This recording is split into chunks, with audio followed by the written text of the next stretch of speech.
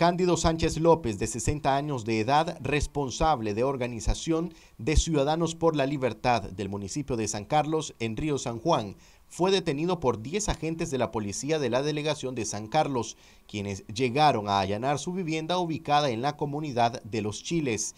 Daniel Sánchez López, hijo del detenido, explicó que los agentes detuvieron a su padre y le decomisaron 12 mil córdobas de la venta de una res. Los policías atribuyen el dinero a un supuesto financiamiento para la presunta agitación de personas previo a elecciones del domingo. La embestida de la policía sembró el terror en los familiares de Cándido Sánchez, un reconocido líder comunitario opositor que también participó de las marchas anticanal que se realizaron en favor de la defensa de tierras de los campesinos. Los familiares del detenido aseguran que es totalmente falso que el opositor esté agitando al campesinado en contra del gobierno, porque sus actividades de organización política las dejó de realizar una vez que el Poder Electoral canceló la personería del Partido Ciudadanos por la Libertad el pasado 6 de agosto. Este 2 de noviembre, Daniel Sánchez se presentó a las oficinas de auxilio judicial de la delegación de San Carlos en Río San Juan para conocer los cargos que le imputan a su padre y conoció